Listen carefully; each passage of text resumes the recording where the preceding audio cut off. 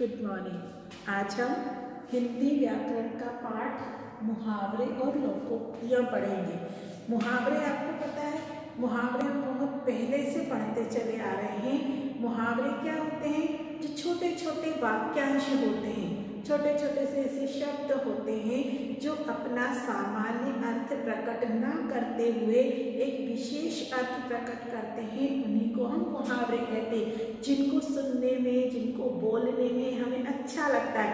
कोई सी भी बात अगर हम किसी से कहना चाहते हैं और उसे अगर हम मुहावरे में कहते हैं तो वो हमें बोलने में भी अच्छी लगती है और सामने वाले को सुनने में भी अच्छी लगती है। तो मुहावरे की यदि हम परिभाषा बोलेंगे तो मुहावरे की परिभाषा क्या होगी जब वाक्यांश अपने सामान्य अर्थ को छोड़कर विशेष अर्थ में प्रयुक्त हो जाते हैं तो मुहावरे कहलाते हैं।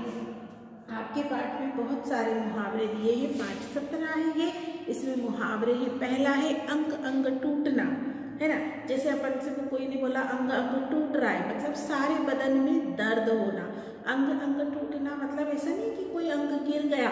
ये एक मुहावरा है, जिसे बोलने में, सारे बदन में दर्द हो रहा है। सामान्य बात है। लेकिन अगर हमने ऐसा बोला, आज दिन भर बस में सफ़र करने से मेरा अंग अंग टूट रहा है तो वो एक मुहावरे में उसका प्रयोग हो जाता है ना? तो वो सुनने में सामने वाले को थोड़ा अलग सा लगता है और अच्छा लगता है। अंगूठा दिखाना अंगूठा दिखाना मतलब मना कर देना। किसी भी काम के लिए मना कर देना। आज मैंने जब राजू से कॉपी मांगी तो उसने मुझे अंगूठा दिखा दिया। मना कर दिया भी हम बोल सकते हैं। मैंने राजू से कॉपी मांगी और उसने मना कर दिया। लेकिन अगर हम इसे मुहावरे में बोलेंगे तो मना कर दिया मतलब होता है अंगूठा दिखाना। तो हम इसको कैसे बोलेंगे? आज मैंने राजू से कॉपी मांगी तो उसने मुझे अंगूठा दिखा दिया। है ना?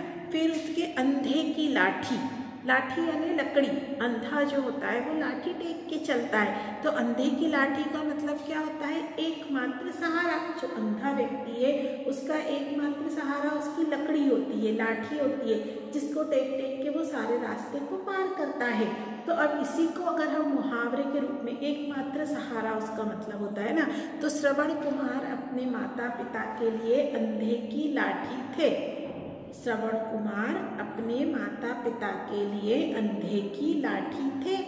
मतलब वो एकमात्र सहारा थे। उनके जो माँ बाप थे श्रवण कुमार के, उनका वो एकमात्र सहारा थे अपने माता पिता का। तो इसलिए हम उनको ऐसे भी बोल सकते हैं कि श्रवण कुमार अपने माता पिता के अंधे की लाठी थे। अक्ल का दुश्मन। यानी एकदम मूर्ख। कोई व्यक्ति ऐसा होता है जिसको हमने बार बार कोई बात समझाते हैं, लेकिन उसे समझ में ही नहीं आती है।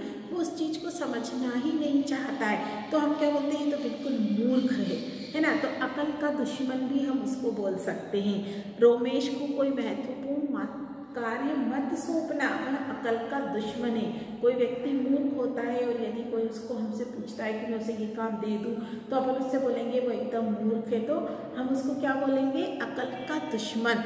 उसको कोई काम, ज़रूरी काम मत सौंपना, क्योंकि वह अकल का दुश्मन। है मतलब वह मूर्ख है। उसे कोई बात समझ में नहीं आती है। आँख लगना यानी नींद आना। आँख लगना मतलब होता है नींद आना मेरी आँख लग गई। बस में बैठते से ही आज मेरी आँख लग गई, या क्लास में टीचर पढ़ा रहे थे और मेरी आँख लग गई। तो नींद आना, जब हमें बार बार नींद आती तो मुझे नींद आ रही है, मुझे नींद आ गई थी। ये बोलने के बजाय अगर हम ऐसा बोलते हैं कि आँख लग गई तो वो मुहावरा हो जाता है। टीवी देखते देखते कब मेरी आँख लग गई, मुझे पता ही नहीं पड़ा। तो आँख लगना यानी नींद आ जाना। आँखें बिछाना यानी प्रतीक्षा करना, है ना? सब लोग, अयोध्या के सारे लोग राम जी के इंतज़ार में आँखें बिछाए बैठे थे, यानी प्रतीक्षा कर रहे थे कि कब राम जी अयोध्या में आए। तो आँखें बिछाना का मतलब क्या होता है? प्रतीक्षा करना। आँखें दिखाना, आँखें बिछाना यानी प्रतीक्षा करना और आँखें दिखाना यानी क्रोध करना। कोई किसी को बहुत आँख दिखाता है ना, उसको बोलते हैं क्रोध करना। जब मैंने राधे का विरोध किया तो वो मुझे आँख दिखाने लगा। किसी का भी आप नाम ले सकते हो कि मैंने उसके काम का विरोध किया तो वो मुझे आँख दिखाने लगा, यानी गुस्सा करने लगा। मॉनिटर ने जब किसी बच्चे का नाम लिखा तो वह उसे आँख दिखाने लगा मतलब उसके ऊपर क्रोध करने लगा, उसे डराने लगा।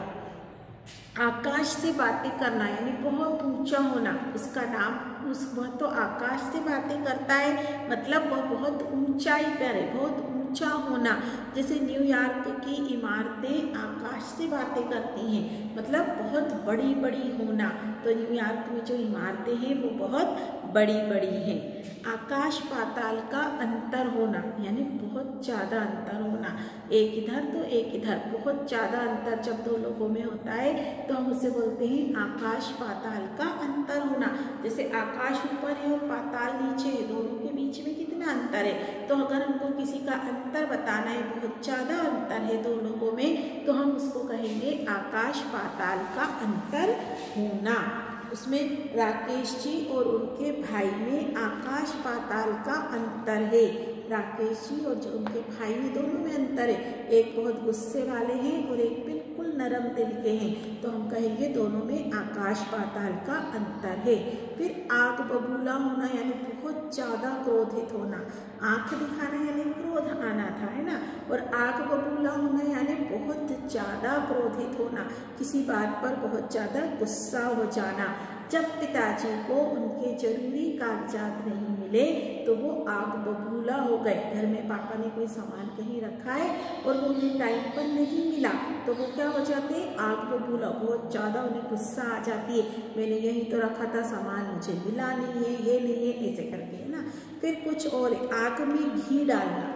आग में घी डालने का मतलब क्या होता है? क्रोध को और भड़काना। जब दो लोगों की लड़ाई होती रहती है और तीसरा जाके हाँ तू जीतेगा तो इसको मार तू ऐसा कर, ऐसे करके बोलते हैं मतलब आग में घी डालने का काम। दो लोग तो लड़ रहे उनकी लड़ाई को अलग करने के बजाय आप जाके और उनसे कहने लगो कि नहीं, तू तो ऐसे कर ऐसे कर तो वो होता है आग में घी डालना, या फिर कोई किसी से गुस्सा है तो अपन जाके और उसके सामने कि हाँ अच्छी है, तेरे को तूने बहुत अच्छा करा, उससे बात बंद कर दी, वो तो तेरे बारे में ऐसे ही बातें करता है, ऐसा करता है। तो वो भी आग में घी डालना होता है। घोड़े बेचकर सोना मतलब एकदम निश्चिंत होकर सो जाना। किसी चीज़ की कोई फ़िक्र ना होना कि सुबह हमें स्कूल जाना है, कि हमें पढ़ाई करना है, कोई चिंता ना होना। आराम से निश्चिंत होकर सो जाना। उसे कहते हैं घोड़े बेचकर सोना। है ना? जैसे परीक्षा के बाद बच्चे घोड़े बेचकर सो जाते जैसे एग्ज़ाम ख़त्म होते हैं, उसके बाद बच्चों को एकदम टेंशन फ्री हो जाते हैं। उनको ये नहीं कि सुबह जल्दी उठ के पढ़ाई करना है, एग्ज़ाम देने जाना है, कोर्स कंप्लीट नहीं हुआ है सब कोई चिंता नहीं उनको। आराम से सोते हैं। तो उसको हम क्या बोलते हैं? घोड़े बेच कर सोना। दुम दबाकर भागना मतलब डर कर भाग जाना। दुम दबाकर भागना एक मुहावरा है, उसका मतलब होता है डर कर भाग जाना। दुश्मनों की सेना भारतीय सैनिकों को देखकर दुम दगाकर भाग गई। मतलब दुश्मनों की सेना जब आई लड़ने और उसने जैसे भारतीय सैनिकों को वहाँ पर देखा खड़े हुए तो वो दुम दबाकर भाग गई। डर के मारे उनसे भाग गई। दम तोड़ना यानी मर जाना। दम तोड़ना का मतलब होता है मर जाना। दाल में कुछ काला होना मतलब संदेह की बात होना, कुछ संदेह होना, कुछ शक होना कि हाँ ज़रूर या कुछ ना कुछ है, दाल में काला है। तो अपन बाहर कहीं गए, घर में ताला लगा के और जब आके अपन ने ताला खोला और सामान इधर उधर बिखरा पड़ा है तो अपन क्या बोलेंगे, ज़रूर दाल में कुछ काला है। हो सकता है रात को कोई चोर आए हो या किसी ने आके हमारे घर की तलाशी ली हो। तो वहाँ हम क्या बोलेंगे, दाल में कुछ काला है। दिमाग सातवें आसमान पर होना मतलब बहुत घमंड होना। किसी किसी को बहुत घमंड होता ना अरे उसकी तो हमेशा फ़र्स्ट रैंक आती है तो उसका तो दिमाग सातवें आसमान पर रहता है। मतलब उसे बहुत घमंड है कि मैं तो बहुत अच्छा हूँ पढ़ने में, या मैं बहुत अच्छी हूँ पढ़ने में, मैं तो हमेशा फ़र्स्ट रैंक लाती हूँ। तो ये वाली बात को हम क्या कहेंगे? सातवें आसमान पर होना मतलब बहुत घमंड होना, धूल में मिला देना मतलब नष्ट भ्रष्ट कर देना, किसी भी चीज़ को पूरी तरह से खत्म कर देना, उसको हम क्या बोलते हैं? धूल में मिला देना। भारतीय सेना ने पाकिस्तानी सेना को नष्ट भ्रष्ट कर दिया, धूल में मिला दिया, है ना? उसको मतलब पूरी तरह से खत्म करना। नाक रगड़ना, यानी बहुत दीनता दिखाते हुए किसी से विनती करना। है ना पहले तो अपन ने गलती कर दी। मम्मी ने कुछ बोला तो उनको जवाब दे दिया, उनकी बात नहीं सुनी। पर बाद में रियलाइज़ हुआ कि नहीं यार, हमने ये गलती कर दी है। तो बार बार मम्मी सॉरी अब हम ऐसा नहीं करेंगे। सॉरी मम्मी, हमको माफ़ कर दो। ऐसे करके बार बार उनके सामने विनती करना कि वो आपको माफ़ कर दे। उसको क्या बोलते हैं? नाक रगड़ना। फिर टस से मस ना होना। अपनी जिद पर अड़े रहना। ये तो बच्चों में बहुत आदत होती है ना।